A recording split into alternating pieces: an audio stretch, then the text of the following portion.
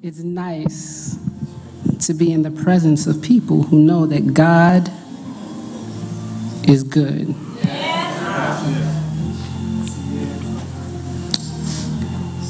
And that when no matter what challenges life brings, no matter what mistakes that we make,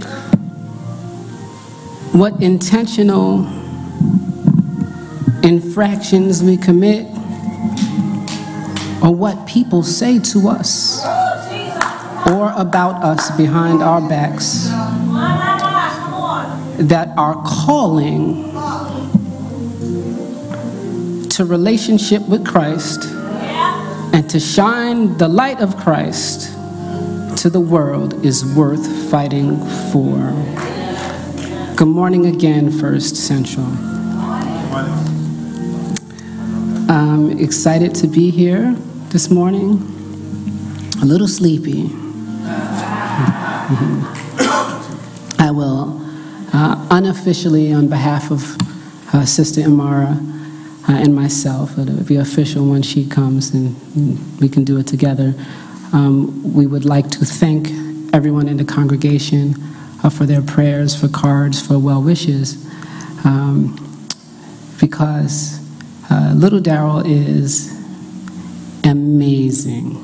He's fine. He's fine. He's probably crying right now.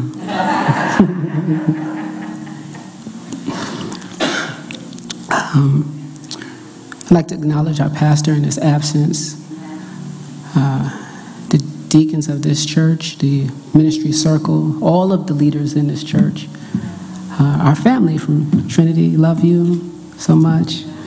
Um, the One Way Youth Ministry, always, right? In, in every form, fashion, if you were ever connected to the ministry, even way back when it was called GYO, right? The youth ministry of First Central Baptist Church um, has changed some lives.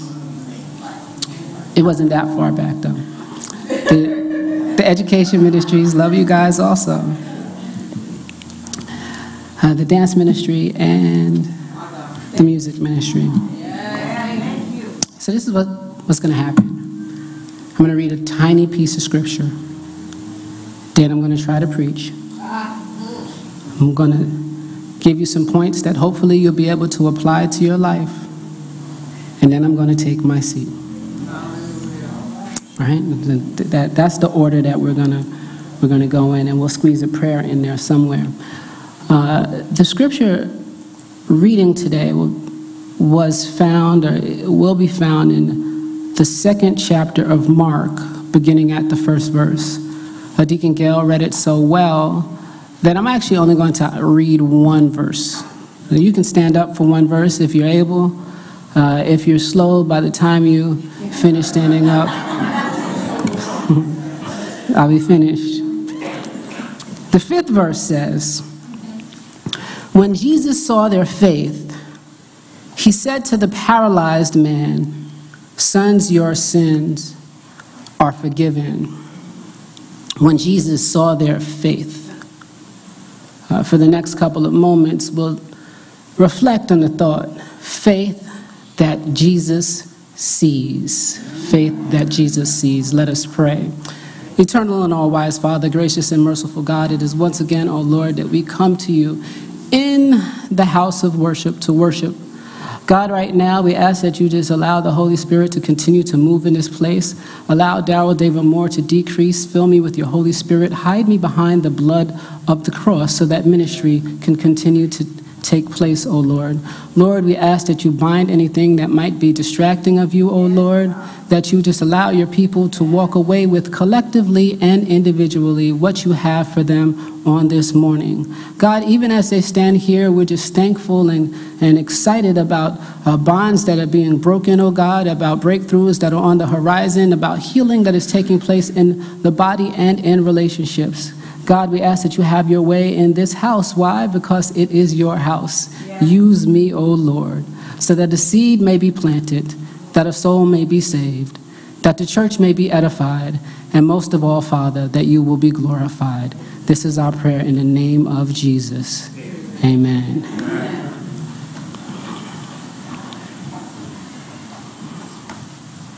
A faith that Jesus sees, faith that Jesus sees. As many of you know, I uh, listen to hip hop.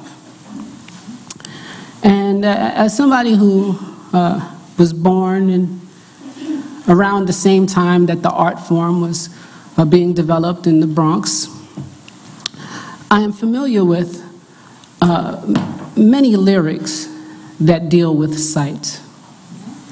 Uh, one rapper said, You couldn't see me if you were looking through my eyes.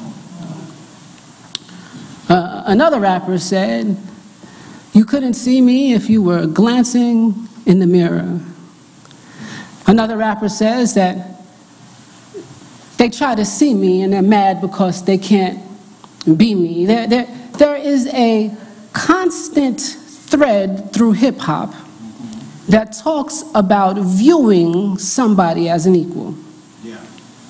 Not only as viewing somebody as an equal, but viewing uh, uh, somebody as a superior or having a, how should I say, a honest reflection of one's capabilities. I think that sometimes we as Christians feel as if nobody sees us.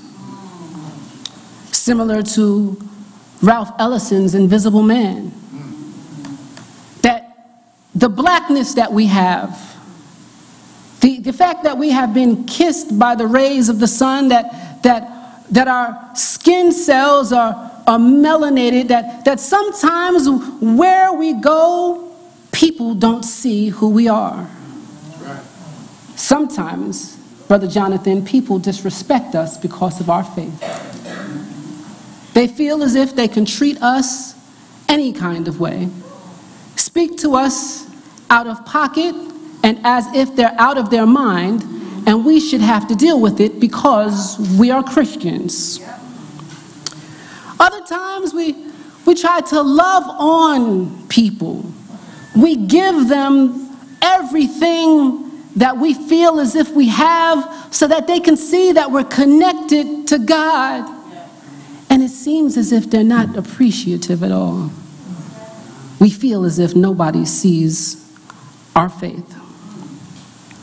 If for some reason you feel as if or you felt as if somebody couldn't see your faith, I, I believe that this text gives us a few ideas of, of how we can practice our faith in a way that the most important person who needs to see it will see it, and that's Jesus. You know the story. The, the, the, story says that there, there is a small fishing village called Capernaum on the north shore of the Sea of Galilee. It is in this village that we find Jesus in a house, perhaps owned by Peter, preaching and teaching the word. Such excitement was conjured up because of a rumor that spread that, that Jesus was around, that the crowd of listeners grew and grew. People were packed inside, perhaps some of them sitting, maybe some leaning on each other, somebody leaning on the wall. It was very crowded. People were, were inside of this house, shoulder to shoulder, listening to the master teacher.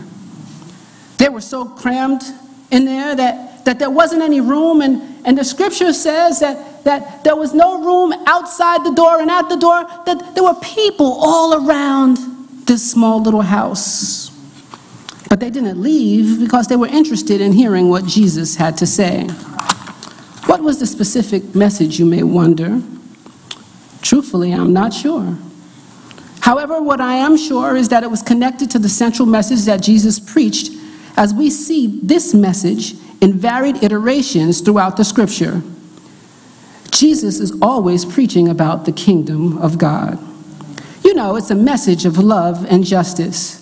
It's a message of compassion and mercy. It's a message of forgiveness and reconciliation. It's a message of encouragement and correction. It's a message that challenges the status quo and preaches to the very core of those who are on the margins of society. It's a message of opportunity for the poor, freedom for the prisoners, sight for the blind, food for the hungry, clothes for the naked, and liberation for the oppressed. It's the message of healing, it is the message of the gospel.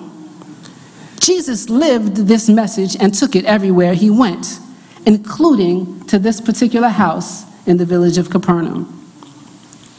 He was in the house preaching this message, and, and, and there was no security to say, hey, we're shutting it down because it's too crowded. The, the, the, fire department didn't show up and, and tell the people that they have reached the maximum permitted occupancy and, and tell some people that they needed to go home. So Jesus kept teaching and the crowd kept growing.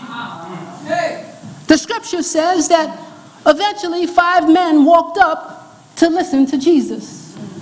Actually, the truth is, only four of them walked because one of them was paralyzed. They carried him in, in a, mat, a, a makeshift kind of stretcher because he couldn't use one or more of his limbs. And, and, and, and, and they stood trying to get into the house. They couldn't get in the door because there was no room for anybody else. They couldn't squeeze by the window because they, they, couldn't, they couldn't squeeze the man in the stretcher through the window. They, they went around the back, and, and around the back, it, it was also crowded. There was no way for them to get inside of this house. So they made a plan.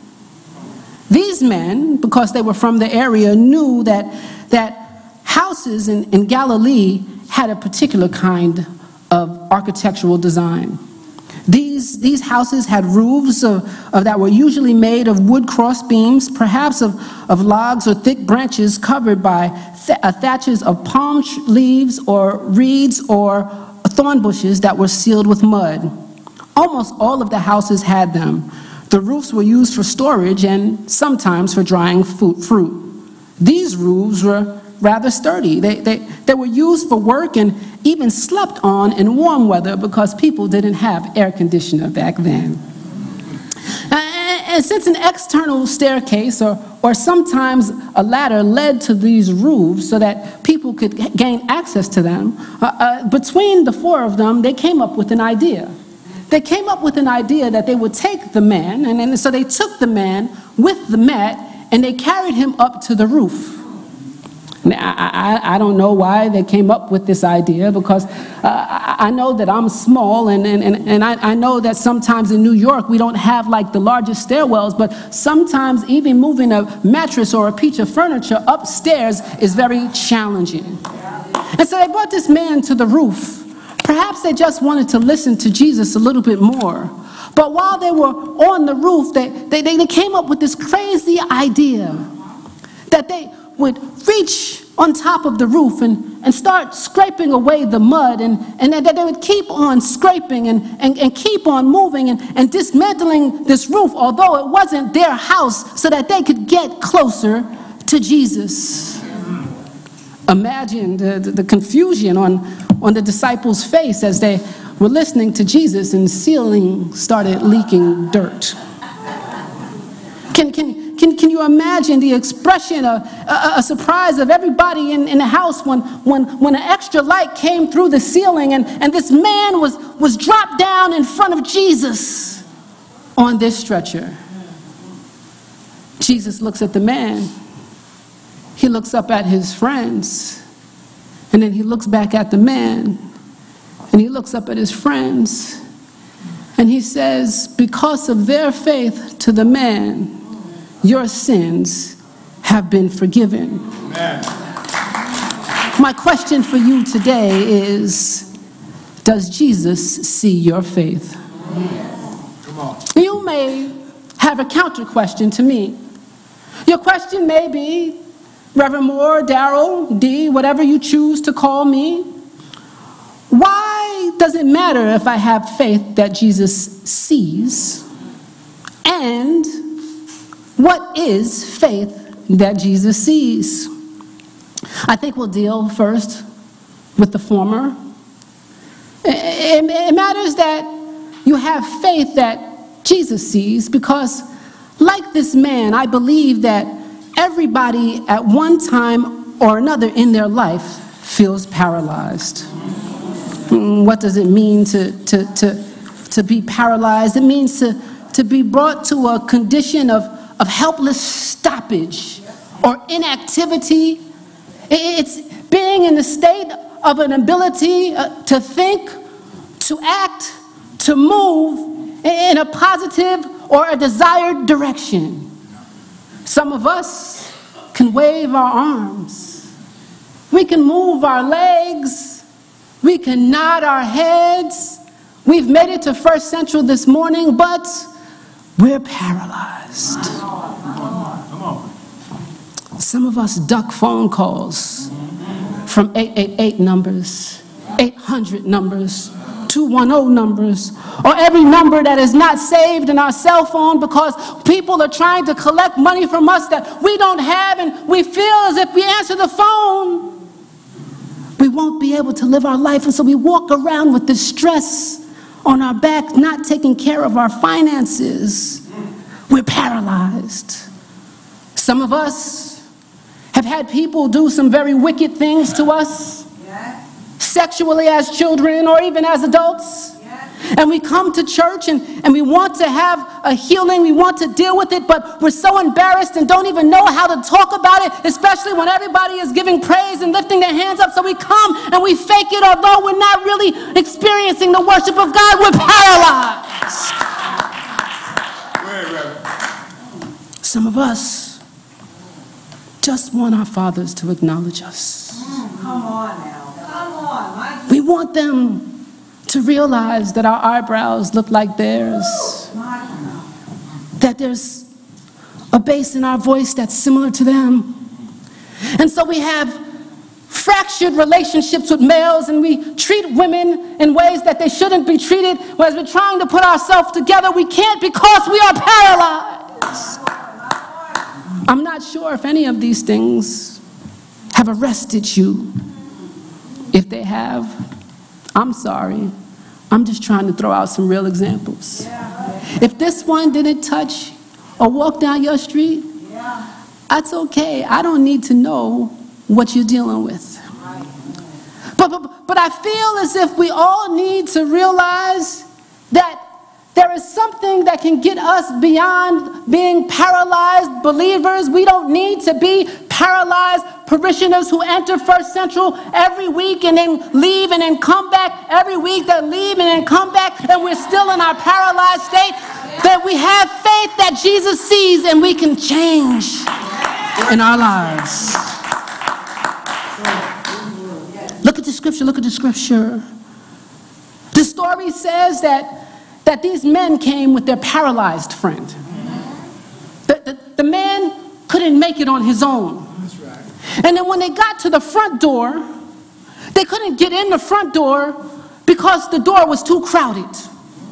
There was too much of an opposition. There was a blockage in front of Jesus, who was the blessing, who was the blessor, who was the person that could change their lives. They could get close to Jesus, but they couldn't get close enough to Jesus in order for Jesus to move in a way that they needed to move.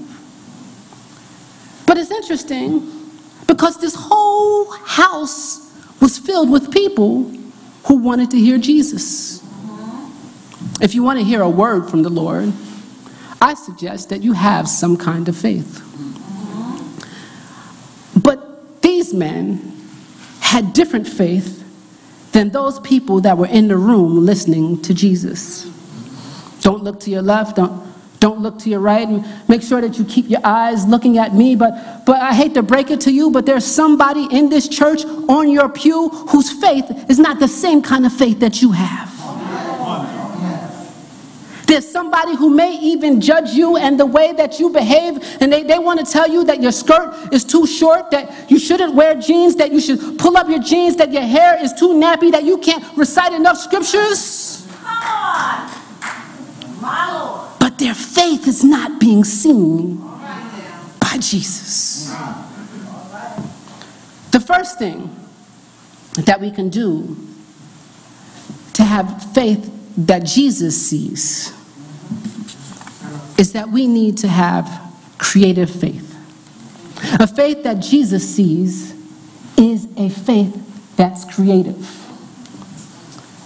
Now, I'm not going to talk about any of the preachers that preach here at First Central because I love the preachers that preach here at First Central. And I'm not going to talk about anybody's ministry in a bad way. So if you take this, please don't distort my words. But somewhere in somebody's Baptist church, somewhere, there are people that preach that every time that Jesus moves in your life, Jay, that it's going to be easy. They feel as if they should be able to just walk up to the door and have immediate access to Jesus, the movement of God, and their breakthrough.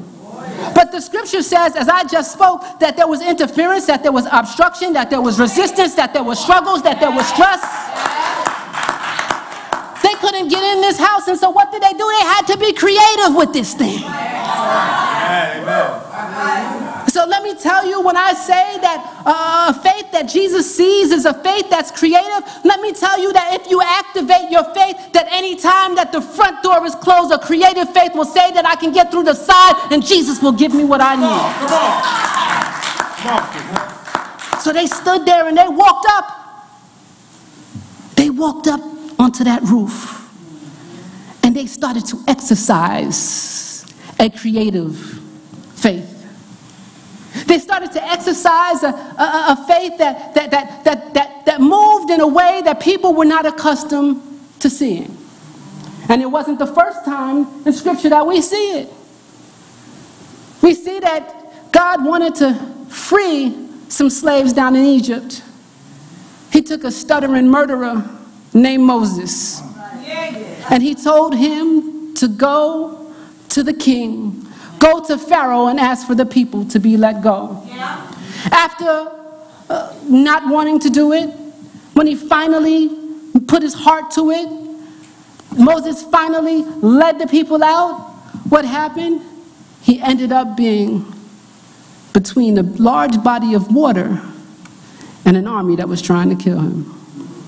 But God, yes. in his creativity, separated the water so that his people could walk through and be delivered. Joshua had a similar situation in the entrance of the promised land. He gets to the shore of the Jordan, and, and how do you get in? But, but God, in his creativity, he moves the, the, the, the, water so that they could walk through. Joshua had a similar situation when, when they get to Jericho, they walked around the wall seven times, and one wall fell down so they can get in. God has us creative faith because our creativity is a catalyst to God's creative move in our life. The second, the second point is that faith that God sees is a faith that's communal.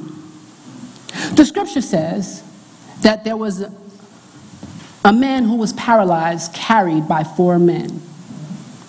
Most of the time, preacher, people say that, that, that there are four men carrying a friend. I've read multiple translations. I, I, went back to the Greek text, and, and, and I love the fact that although they may have been connected to each other, the word in the original language is not necessarily friend, right? Because what's not important was the fact that they liked each other, but what was important was that there were some people that had faith that realized that some people, person that was uh, uh, lacking, needed some help, and so they decided to help them in community. Listen, I know that it's hard. I know that sometimes you can't even feed yourself. But on occasion, if you have faith in this God we serve, every once in a while, you need to give to somebody who does not live in your house, in your area code, in your zip code. You need to stretch and do something for the community. How can that look? It can look like giving a sister a ride on a rainy day. It could look like giving somebody some change when they're asking for it on the subway and not caring whether or not they're going to buy food or buy some dope.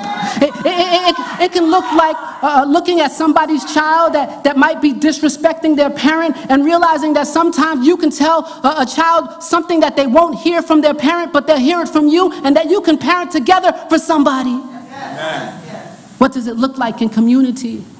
It can look like instead of disrespecting our young people based on the fact that we've been doing ministry for so much longer that they had, that we can let them in so that they can do some work, and that if they fail, we give them the room to do it and catch them because somebody did the same for us. What does it look like? Community, community, community. Faith that Jesus sees is not only about Daryl David Moore. Faith that Jesus sees is not only about Liz Moore. Faith that Jesus sees is not only about Soika Penato. Faith that Jesus sees is about us as a unit. I'm not making it up. I understand that, that, that we have a personal Savior, but from the beginning to the end, from the Alpha Chi Omega. The scripture says that Jesus, God wanted to make a people. He said, You will be my people and I will be your God.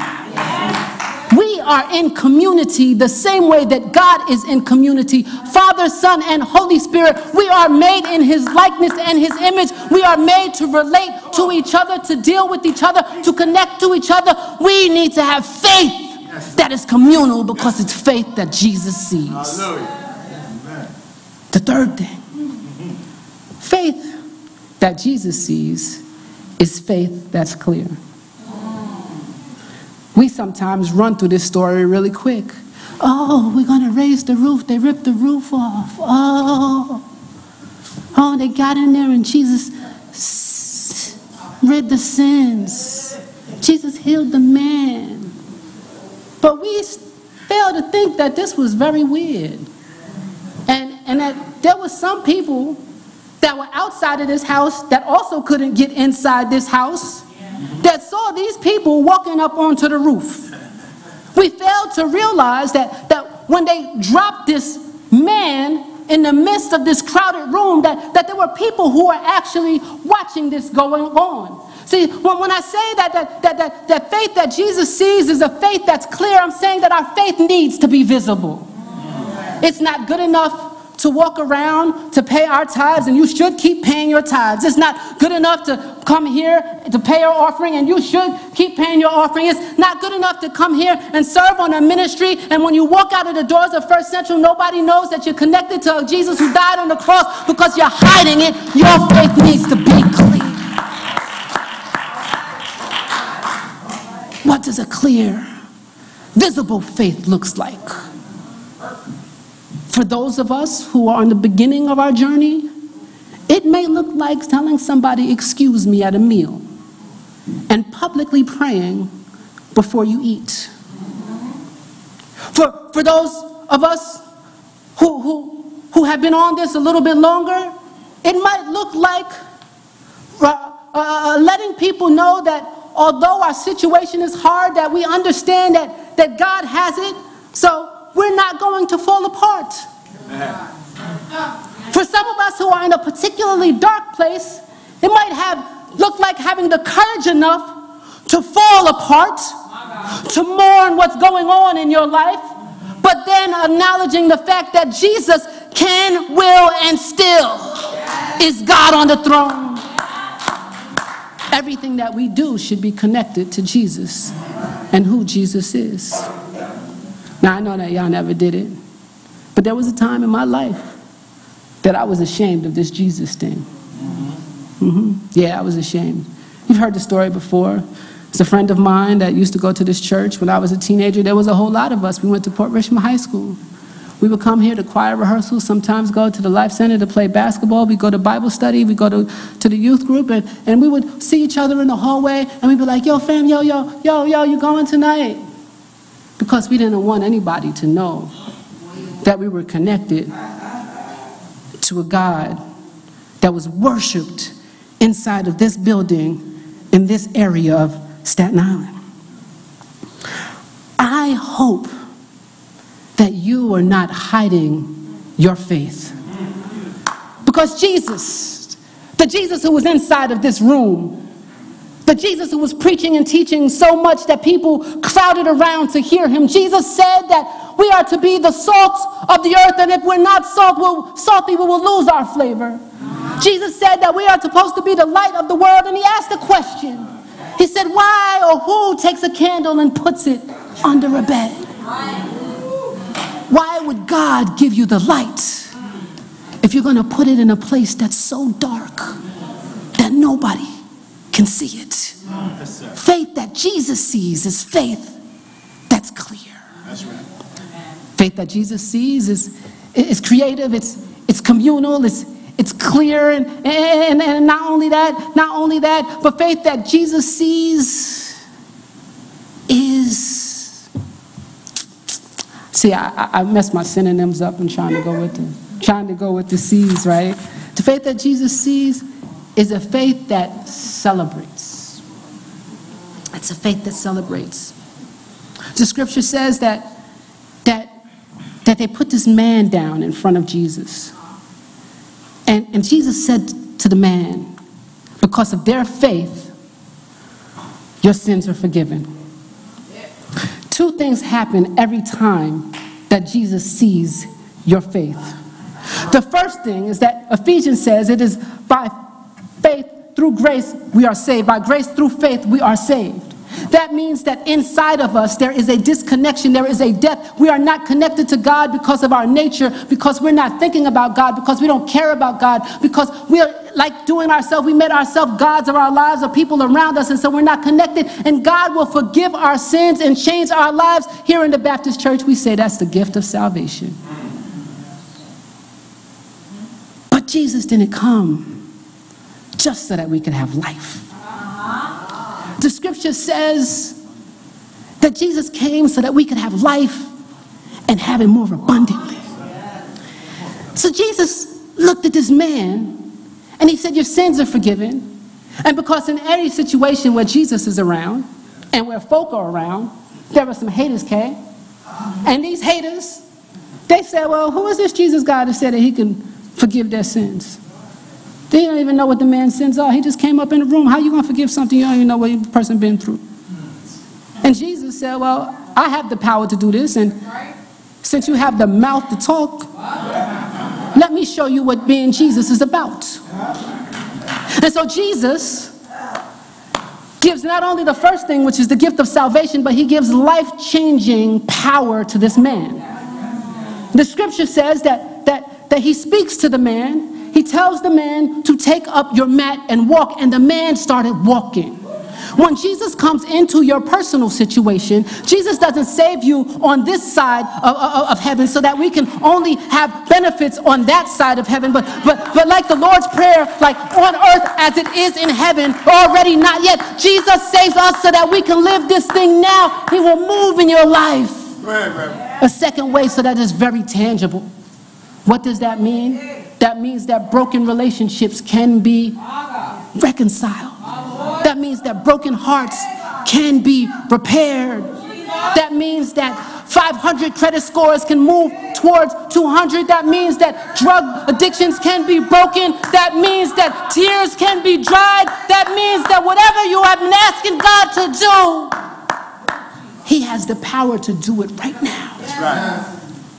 But He doesn't do it so that we can walk around and say, I'm better than you. Look at what God did for me. He does it so that we can celebrate. The scripture says that, that, that, that, that after Jesus said that, that your sins are forgiven, and that after he told the man to look, that the people were amazed and they started to praise God. Yes. How did praising God look in this little tiny church? Excuse me, it was a house. I don't know how it looked in this little tiny house. I don't know. I assume that they didn't have a Hammond organ, but you don't need a Hammond organ to praise God. I assume that they didn't have a drum set, but you don't need a drum set to praise God. I assume that since they were at a house and not at a church, that they didn't have any deacons and they probably didn't have a preacher aside from Jesus, but you don't need deacons and, and a preacher to praise God. I, I assume that they didn't have ushers standing on the door or nurses that were passing out water, but as long as God moves in your life, you don't need any of them to praise God. All you need is faith that Jesus sees, faith that's creative, faith that's communal, faith that's clear, a faith that celebrates. And when you have these things, everywhere your feet walk, people will see that you are a little bit different than you used to be. Every time your mouth opens, people will realize that you might look the same, but you're not the same. Every time that you go someplace, people will say, I don't know what's different about her. I don't know what's popping with him. But whatever's going on with them, I want a little bit of that. And if they ask you, you can tell them that you have faith in Jesus. And what's important is that it's faith that Jesus sees. God bless you.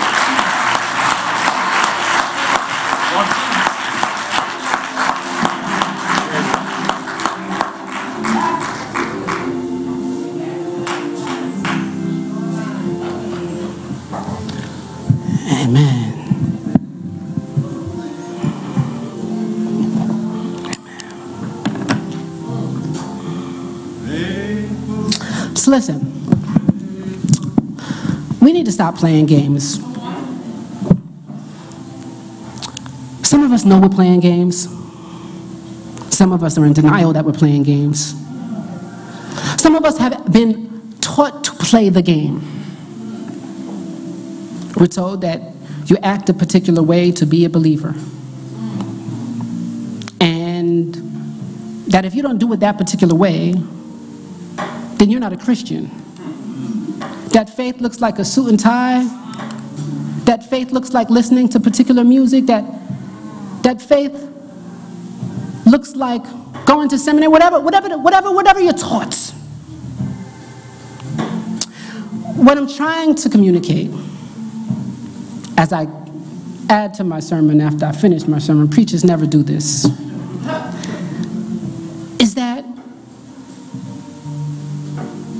the personal things that God removes from your life oftentimes are for you. And when they're not only for you, and you're supposed to share that or bond with somebody that God removed those things, you know. Let's stop trying to put our faith, our round peg in square holes. Because Jesus is not about that life. Perhaps you want to get connected with Jesus because he gave this gift of salvation. He died, suffered, he rose. Yeah, yeah, yeah. We get so excited about the fact that he rose. But what's more important is that he's returning for us. All you have to do is confess with your mouth that Jesus is Lord and believe in your heart the same. Here at the First Central Church, we say the doors of the church are open. It's basically saying if you've given your life to Christ for the first time, that you've stopped playing faith and you started moving into a faith that Jesus sees. We're asking that you come and join our church so that we can help you mature. So that part of your story can help us mature. That we can grow together in this thing. You can come as a candidate for baptism, meaning for the first time, you're giving your life to Jesus. You can come under Christian experience. Perhaps you've already given your life to Jesus, but you're just looking for a church home. We're here for you at First Central. You can come under watch care. Perhaps you don't want to change church membership. You're just here for a while on work assignment, military assignment, or on, at school. We're here for you, if there be one. Amen. God bless you. Thank you, deacons.